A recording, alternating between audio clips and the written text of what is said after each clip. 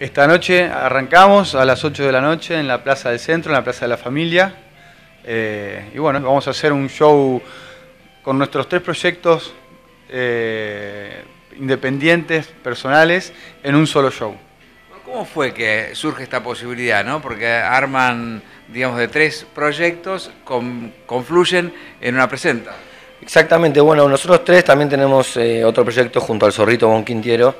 Estuvimos haciendo unos shows acá y él se tenía que volver a ensayar con Soda Stereo.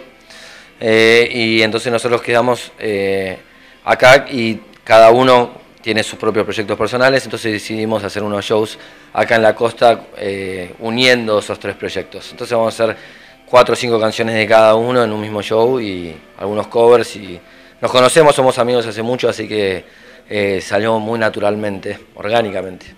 Uruguay, Argentina, sumándote. Y sí, la verdad que muy, eh, muy copado de estar acá, en la costa. He ido a tocar mucho a Buenos Aires, pero bueno, esta es la segunda vez que estoy acá San Bernardo. Y nada, muy contento de estar tocando acá para la gente y gratis.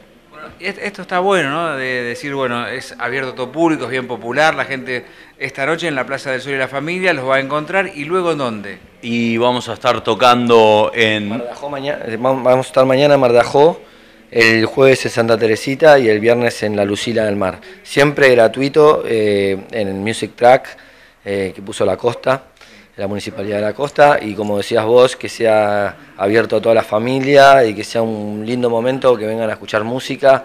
Ver música en vivo es algo que te llena el alma y que se van a ir seguramente más contentos de lo que vinieron.